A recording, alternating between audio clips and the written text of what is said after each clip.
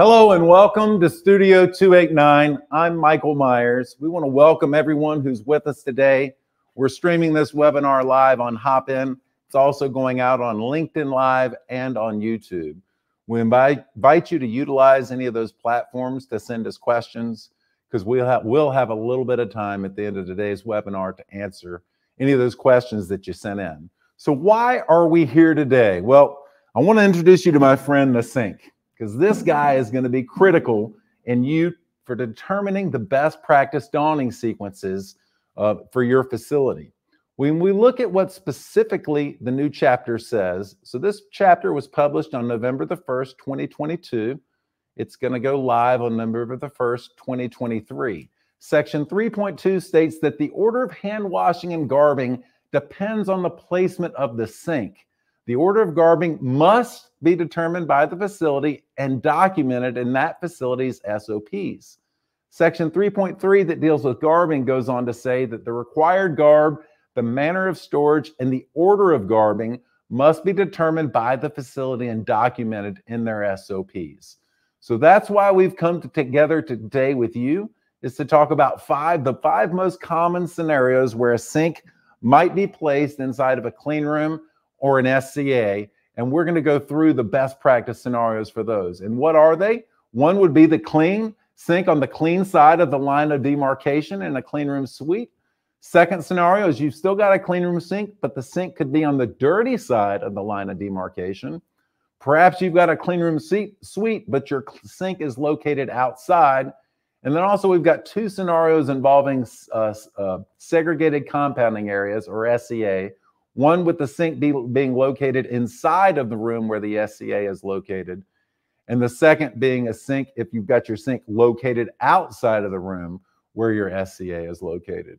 So we're going to run through those five scenarios today. I want you to know that we're actually not going to be teaching you how to don and doff. That could be a different webinar. Contact us lots of resources. We've got a team of blue shirts that can come out and train you on how to properly don sterile gloves. Today, we're focused on coming up with that protocol, that procedure, that sequence for donning based on where we're going to be placing this sink. But regardless of where this sink is, no matter where this sink is, some things are never going to change. What are those things that are never going to change? First of all, is hand hygiene. The process by which we wash our hands isn't going to change. And by that, I mean you must run your fingers and use a nail pick to clean underneath your fingernails before you start the true hand hygiene or hand washing procedure. So once I've cleaned under all of my nails with under warm running water with a nail pick, then I need to wash my hands. I'm going to use soap and I'm going to lather all the way up to my elbows and wrists and make sure that I properly do hand hygiene. So that's never going to change. We're also never going to have the way our head and beard covers change. So where I go, no matter which stage I'm going into that room, we must have true head coverings um, that we'll be using inside of that room. In this picture you see here, I love this picture because it actually shows something done improperly. Notice at the back lower of my neck, the bouffant is tilted up by the elastic band of my mask, and that exposes some hair and exposed skin along the back of my neck. So if you're using a traditional bouffant like the one you've seen here, there are alternatives that you can use, sort of a full face covering mask that will prevent you having any of those hairs that wisp up on the back of your neck. Another thing that's never going to change is donning our gown. We're always going to be donning our gown sort of at the end of that gowning process in the ante room before we enter that buffer room, that last thing we do before we don our sterile gloves. So that's never going to change. And lastly, donning sterile gloves. That's never going to change. The process for properly donning a sterile glove is never going to change. So just keep in mind those five things aren't going to change. But what we're going to talk about today are the different sequences, the order in which we might do those things based on the placement of this sink. So I'm going to have Chris Ebert, one of our studio folks, come in and help me move this sink over. We're going to start out with what's the most common placement of the sink that you may have. And that's going to be the sink located on the clean side of the line of demarcation inside of your clean room suite.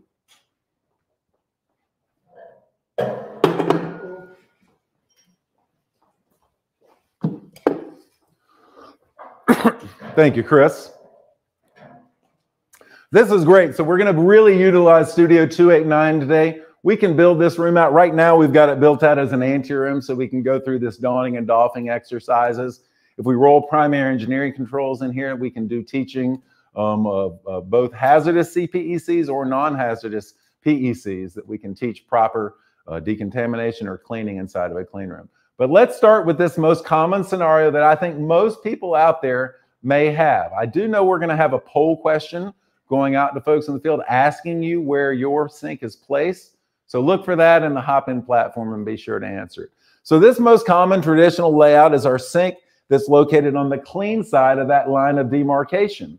So we're going to come in, we're going to start obviously in each of these scenarios. We start before you begin your shift, go to the restroom so you don't have to keep going back in and out of the room. You want to make sure you've tied your hair back if that's appropriate and that you clean your eyeglasses as necessary. So the second step is you're going to be entering the ante room. Hopefully you've got some storage here for your face masks and your bouffant. You'll have, want to have yourself a mirror here. So again, as I'm putting on that bouffant, I want to make sure that I'm not getting any of those wisps of hair out of the back of my neck. Second, next stage, I've got on a, a hairnet and a face mask is I'll grab booties. I sit down on my gowning bench, one foot at a time as I place them across, my, across the line of demarcation. Make sure you get your folks a gowning bench. I've seen a lot of facilities where they did just have a line of demarcation on the floor and someone sort of hopping around and trying to balance themselves to get their booties on. They're going to slip. That's going to lead to an injury. So make sure you go ahead and, and install a gowning bench or a, or a, a gowning seat so they can get uh, easily across that line of demarcation. So now the person would have on their booties, their hairnet, and the face mask. Next thing in the sequence is full hand hygiene. Again, 30 seconds, wrist all the way up to our elbows. We would have started with finger picks, running water under our nails. Make sure we dry our hands with low lint towels. The chapter, the new chapter specifically forbids the use of air dryers. So you want to make sure that you're using a low lint towel. And at this point, I would come and don my gown. Hopefully, you've got your gown stored in a way that's far enough from the wet sink to prevent splashing in a way that protects those gowns. Now that I've got my gown, it's the last stage I can do is use my waterless alcohol-based hand rub before I don those sterile gloves. So again, that's our most common scenario. We're going to come into the room, do hairnet face mask. We're going to sit down on our gowning bench, one foot at a time across the line of demarcation. We'll perform hand hygiene here on the clean side of the line of demarcation. Dry our hands. We'll put on our gown and then use our hand sanitizer, waterless based hand rub before we put on our sterile gloves. So that's our first most common scenario. Our second scenario is going to be with the sink on the dirty side of the line of demarcation. And Chris and Brandy are going to help me move both the sink and the hand towel dispenser for that. You know, the original 2008 chapter, or not the original, but the currently enforceable 2008 chapter does call out that sink location on the clean side of the line of demarcation. So that's why most folks have their sinks located there. Now, I'm certainly not advocating anyone do a construction project, but if you're going to be building a clean room in the next few years, I'd invite you to consider this scenario we're about to run through with the sink on the dirty side of the line of demarcation, still in my clean room suite, still in my ante room. But if I put my sink on the dirty side of the line of demarcation, my water source is now further away from my buffer room. My water source is further away from that primary in, in, engineering control with my critical sites. So just for that simple fact of placing my sink on that dirtier side of the line of demarcation, I'm going to be able to get that water source further away from my primary engineering control. So let's talk about this scenario. It's going to be very similar at the beginning. We're going to visit the restroom, tie back our hair, clean our uh, eyeglasses if necessary, and we're going to enter the anteroom, don our uh, face mask, our hair net. We're going to then come to the sink and we're going to perform hand hygiene. All right. We've now done our full normal hand hygiene procedure. And at this point, I'm going to grab shoe covers. I'll put them down and one foot across the line of demarcation at a time. Nothing's changed there. And I come over to don my gown. Now I've just, I washed my hands when I was over there. I sat down on that bench and I kind of touched my feet when I was putting on those shoe covers.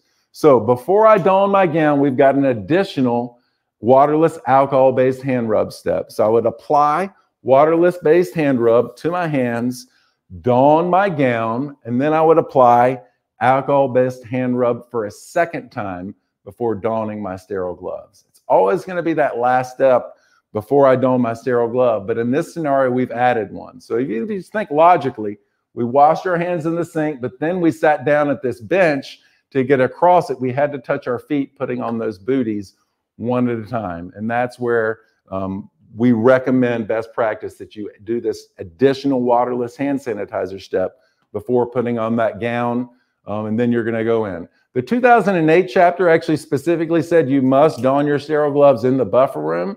The new chapter says it needs to be in a classified space. So in theory, if you had room in your ante room, you could don your sterile gloves in this space or in that buffer room. Just make sure that last step before you don the gown, you apply the hand rub, and then right after donning the gown, put that hand rub again on um, uh, before you don your sterile gloves.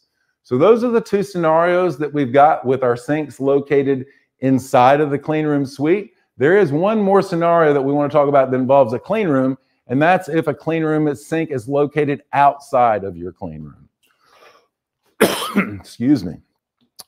So we are going to have uh, Daniel bring up a, a, a, slide here that we can talk about. So I just want you to visualize if that sink is going to be located outside of the clean room, the additional steps that I'm going to need to take to get into that room. So the first thing I still want to do is make sure I go to the restroom before I start my shift. I want to tie my hair, clean my personal glasses, um, and then I'm going to perform hand hygiene. So Chris has brought the sink back over here. So this would just be, imagine if I'm outside of the clean room here, I'm going to be performing hand hygiene outside of this space before I even bother going into that clean room space. So once I've performed hand hygiene, again, I've got to make sure I've done my nail pick underneath running water, a full 30 seconds with my wrists, uh, hands and wrists up to my elbows, dry my hands with low lint towels. Hand hygiene is complete, but now I'm standing outside of the clean room. So I want to make sure I enter the uh, anteroom and apply alcohol-based hand rub to my hands and wrist. I put an asterisk on number three here because if you've got an automated door, if you just wave your hand and it automatically opens, you might could skip, skip that third step.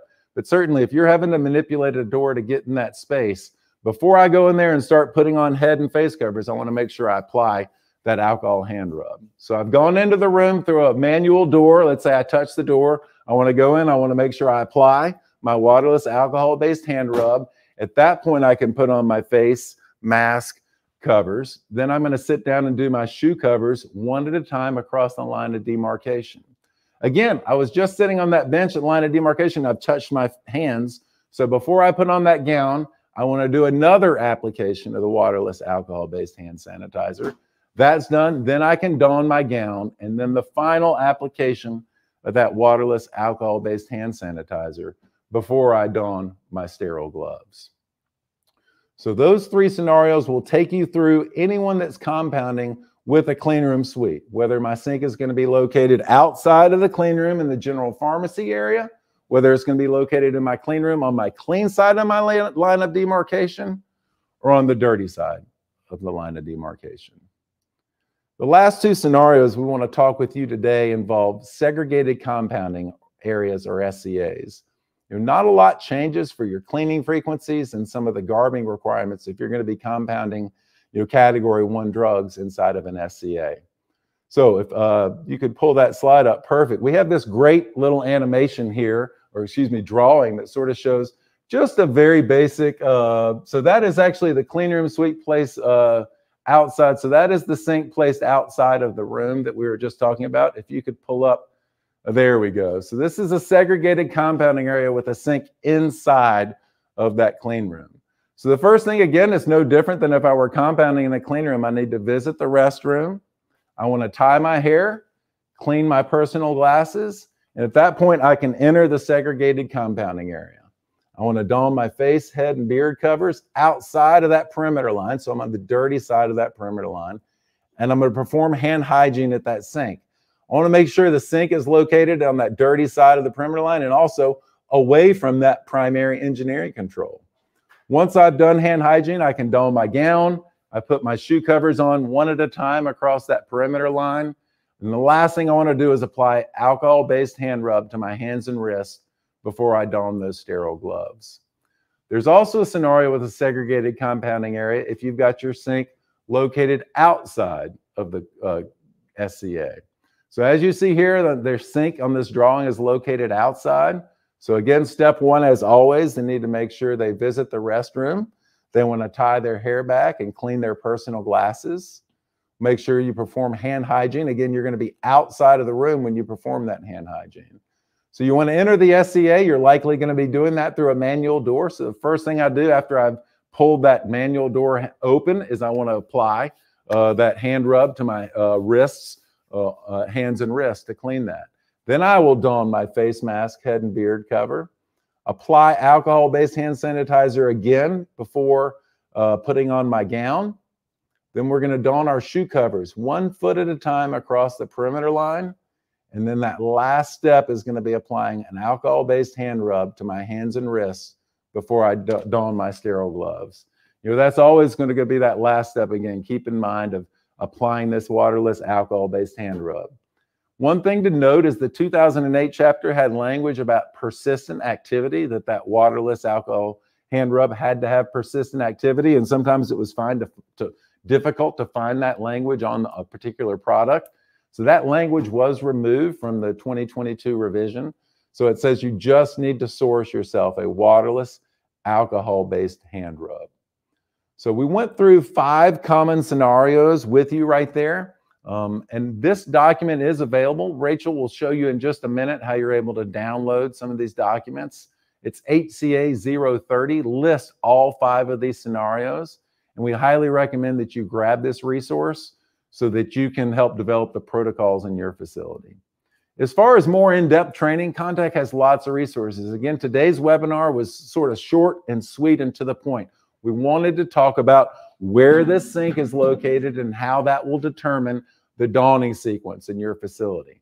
We can, Contec's got a team of blue shirts that can come out to your facility and train in full hand hygiene and garbing for non-hazardous and hazardous scenarios. We've got this incredible studio here that we can utilize to perform webinars. If you've got multiple sites and would like us to perform a webinar individually for your multiple locations, we can certainly work on that and, and help train your facilities, even if they are spread out. So with me giving you just a little bit of that, I'm going to invite Rachel to come in and she's going to tell us more about some of these other resources that are available to you.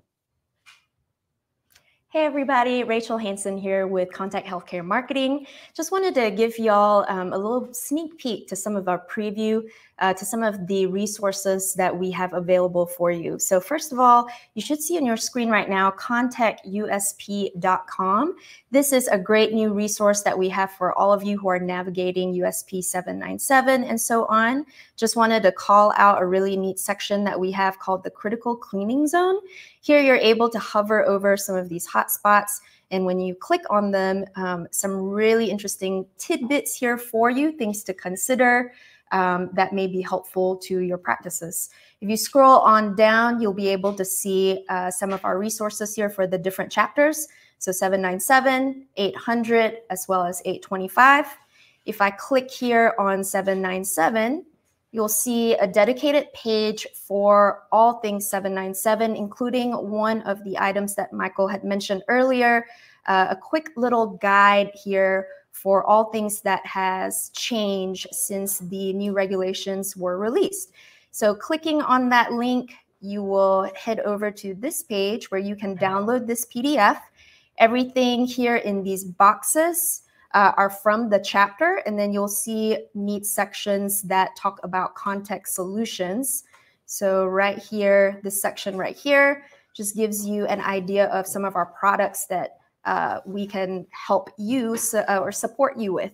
So with that, we've got a couple of polls that we had um, sent out earlier, and I'm going to pass this over to Daniel to get some of our polling results. Daniel? Yes. Hello, everybody. Uh, welcome to the control room of Studio 289. And we did run one poll just to ask people where is your sink located? So 81% of everyone, that's actually a huge number in our polling. So 81% say that their sink is located on the clean side of the ante room. Uh, coming in second with 6.8%. So there's a pretty big gap. 6.8% say the dirty side of the ante room. 5.7% say outside the room in which the SCA is located. 3% say inside the room in which the SCA is located. And 2% say outside the clean room suite. So there is a pretty big portion, uh, guys, of people um, using the clean side of the ante room. So with that, I'm going to turn it back over to Rachel to talk about one more resource before we get to our Q&A section. Rachel? All right, thanks, Daniel. So coming up March, March 25th to the 29th, we will be at NHIA in DC, and both Michael and Mark will be presenting there. So do you guys want to tell me a little bit about what y'all will be doing there? Michael? Sure. I'm going to be doing wearing several hats. So NHIA does a really neat thing called the Sterile Compounding Clinic, where folks who've registered can actually go and as a part of the trade show, go put their hands on equipment and get trained by industry experts so I'm going to be a faculty member there, specifically dealing with hazardous decontaminations of CPECs. On Tuesday morning, I'm going to be giving a presentation on best practices for cleaning and disinfecting a secondary uh, engineering control, the, the clean room suite itself. And then I'll also be leading roundtable discussions on Monday and Tuesday nights about residue uh, removal. Very neat. And what about you, Mark? Tell us a little bit about what you'll be doing. Well, I'm uh, kind of introducing Michael. I'll be on Monday and uh, talking about some basics of the changes in 797, including these new frequencies of daily disinfection versus this new, perhaps new concept for some, sporicidals. Then getting into all things sterile now that we require sterile disinfectants to be used in the PECs. Uh, then I get a little bit into some other stuff around dwell times, like how do I actually know a surface is wet? And then finally, finishing up with a little bit of microbiology uh, regarding how to deal with isolates that you get from environmental monitoring uh, and what to do if those don't show up on your label. So, also sporting a little NHIA uh, uh, scrubs from years past, but uh, that's another great asset of coming and joining the critical, uh, the sterile compounding clinic, is you do get to leave with some scrubs. That's awesome. Well, we hope to see you there. And with that, shall we get to some of our questions today? Sure. So I'm going to head back over here to my computer station. Thank you, Rachel. Thank you, Mark. And we're going to answer some of the questions that you guys submitted to us. And this came in, some of these came in in advance, and some of them came in via the Hopin platform. So Patricia asked me, what garb must be sterile versus non sterile? That's a great question. What we talked about today is category one and category two compounding. So category one is mostly going to be done in an SCA. So for category one or two, you could do that in a clean room. When you move into category three compounding, I, I didn't want to sort of muddy the waters in today's webinar because it's a wholly different uh, department. So when you get into category three compounding, all of your garb must be sterile. So from head to toe, all the garb you're wearing has got to be sterile you can't have any exposed skin, so you'd have to wear, you know, full head coverings like this versus a bouffant. You know, when you move into category three, it really is sort of a significant difference. So that's really where sterile garb comes into play. For category one and category two, two compounding, only your gloves must be sterile. So sterile gloves always one, two, or three, and then category three is just going to be sterile all garb. Everything's going to have to be sterile for category three. Do you have a policy or template for donning garb that could be revised to fit each different hospital's need? Yes, I think that HCA 30 document, Rachel showed you uh, how you can download that from our USP Experience website, is available. And uh, make sure, excuse me, I'm going to grab a glass of water. If you download that document, it's going to show you the five scenarios we went detailed today, and you can use that to help develop your protocol. Um, any information for garbing for HD compounding would be helpful. So hazardous compounding is your scenarios aren't really going to change for how you get into the room. You're just going to be doubling up. So obviously when I sit down um, at that line of demarcation on my gowning bench, I'm going to be putting on two booties on each foot as I place them across the line of demarcation. Once I've completed hand hygiene, I'm going to be putting on a second gown, a chemo gown, over top of my IV frock. And then once I enter the buff room, I'm going to be donning two pairs of sterile gloves, double gloving. Some of the biggest differences for HD compounding deals with the doffing process. We do have a, a video that's available, uh, training on our Contec U platform that deals with HD doffing. It's a little uh, too complex to get into right now, um, but for the donning part, nothing's really going to change as far as that sequencing where I might be applying my waterless alcohol-based hand sanitizer. I'm just going to be double booty, double gown, and double glove.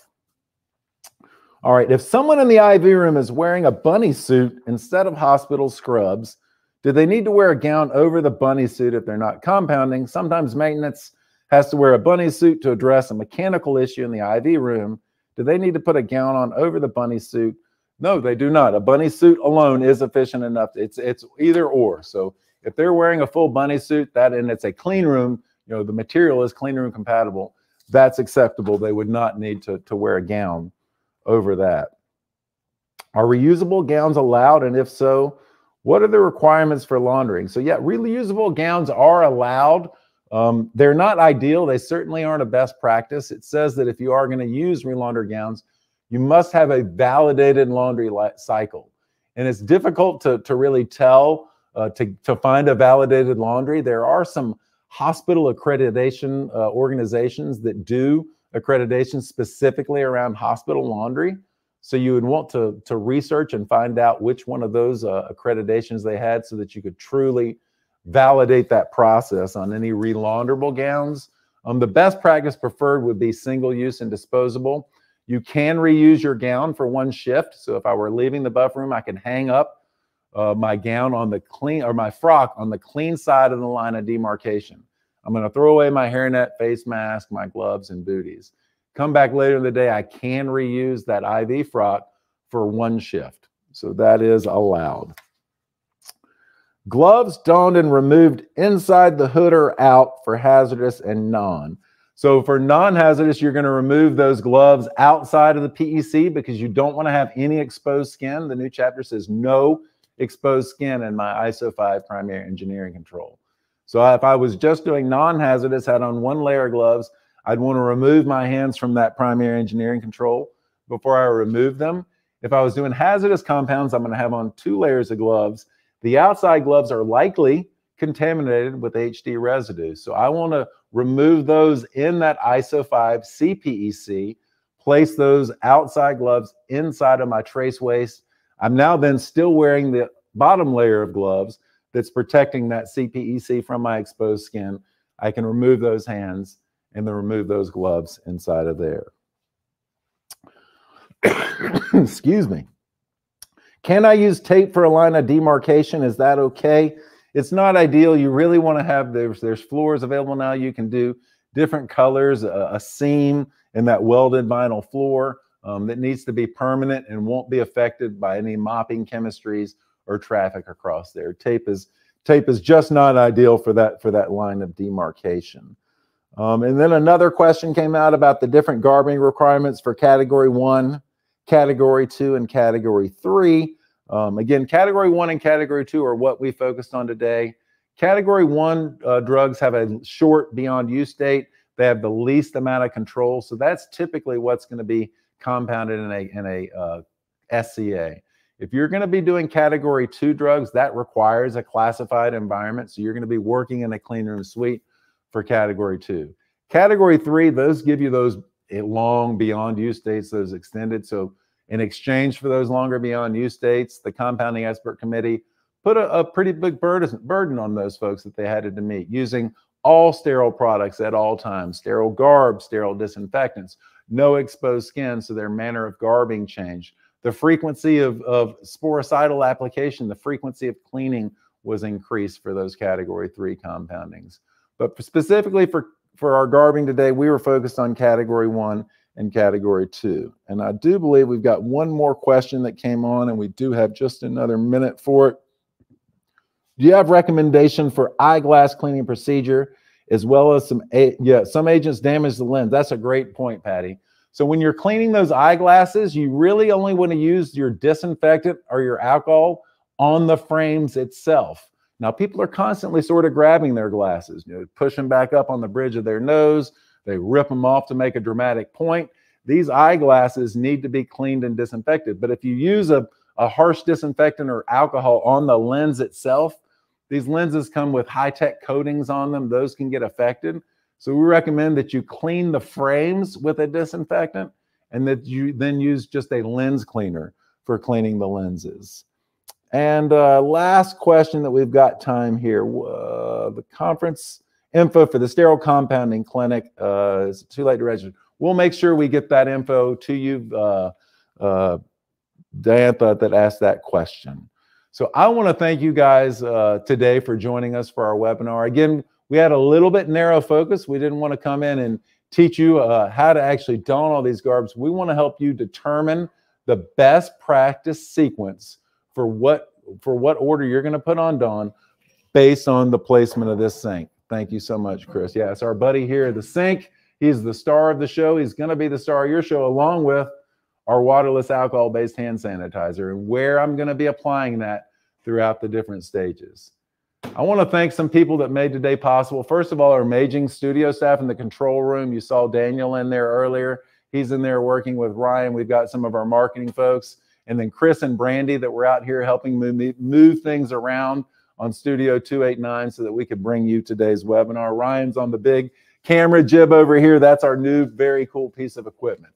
So thank you for joining us. If you asked a question that we didn't get to, we will make sure that we reach out to you. Get a copy of this HCA 030 to help develop your protocols, and we'll see you at the next webinar.